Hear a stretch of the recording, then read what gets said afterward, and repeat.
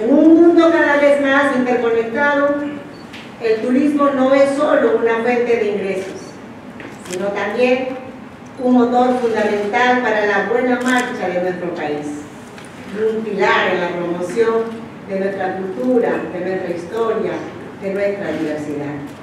En los últimos años los peruanos enfrentamos desafíos sin precedentes y el mundo en general también. El tema de la pandemia. Se cerró el planeta Tierra. Lo que más sufrieron fue el sector turismo. Nos volvió con fuerza a todos los sectores, entre ellos quienes, reitero, quienes más sufrieron, quienes más sufrimos porque no pudimos viajar, fue el turismo. Sin embargo, la resiliencia que caracteriza a los peruanos, somos muy resilientes y no nos derrotamos fácilmente, no nos derrotamos, salimos para adelante, junto al esfuerzo del sector privado, ahora con el gobierno de la mano, seguiremos avanzando, trazando la ruta del desarrollo de nuestra querida patria. Y en el turismo los números son claros. En lo que va del año hemos recibido más de 2,4 millones de turistas internacionales y proyectamos a cerrar este 2024 con un récord de 3,5 millones de turistas internacionales. Seguiremos, como dijo el presidente de Canatur, trabajando para conseguir ese resultado.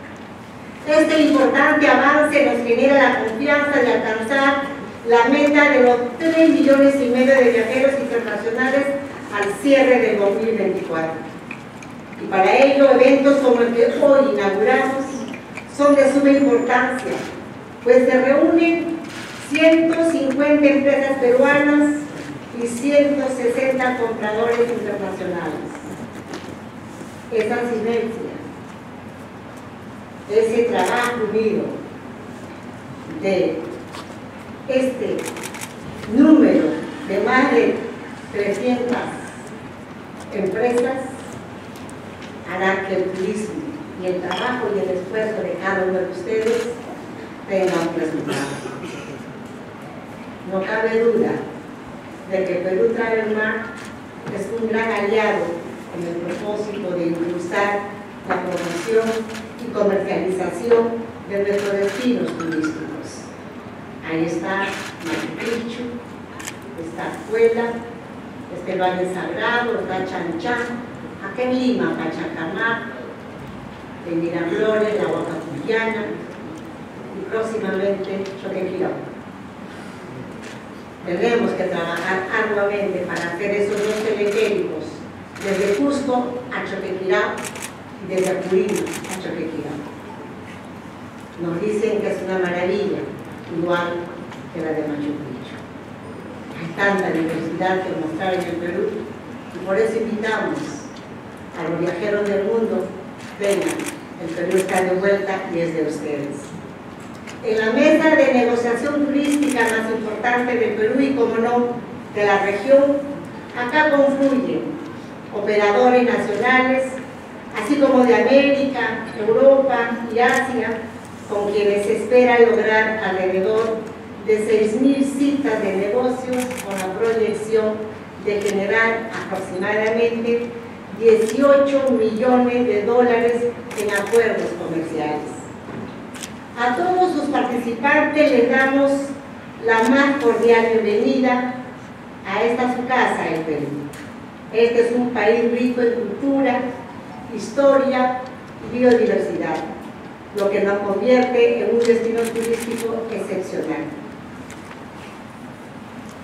Y por supuesto, no podíamos dejar de mencionar nuestra gastronomía, que sigue conquistando paladares y los corazones con platos que ya se han vuelto emblemáticos como el ceviche, el lomo saltado, la causa, el sancochado, que ahora subiendo en el ascensor el sancochado que por cierto lo damos Pérez y los viernes, dice aquel Así que somos ricos también en gastronomía. Somos un país con una historia milenaria que ha reactivado no solo su turismo, sino también su economía. Por quinto mes consecutivo nuestro PIB creció 3,5%, sustentando en la dinámica favorable de sectores como minería, hidrocarburos, servicios y construcción. Así hablamos de nuestro gobierno, con hechos y con números, como los del crecimiento de nuestra economía. Seguiremos trabajando para que este crecimiento jamás se detenga, así como tenemos un compromiso inquebrantable con la reactivación económica, también la tenemos con la seguridad de nuestra ciudadanía. Por ello, está en marcha un plan seguro, el cual se complementa con acciones concretas como los operativos Amanecer Seguro, Retorno Seguro y Plan Génesis. Necesitamos también aquí trabajar articuladamente con las autoridades de justicia y que los delincuentes capturados no regresen a las calles. Durante el estado de emergencia en Lima y Callao se ha capturado a más de 180 requisitoriados y hemos desarticulado más de 60 bandas criminales. Sé que, este que esta situación no es fácil, es compleja, pero vamos a ganar la batalla. No vamos a tener piedad como aquellos que se atrevieron a derramar la sangre de nuestros compatriotas. No vamos a ceder un milímetro ante la delincuencia, sus horas están contadas. Sigamos trabajando en unidad, en equipo.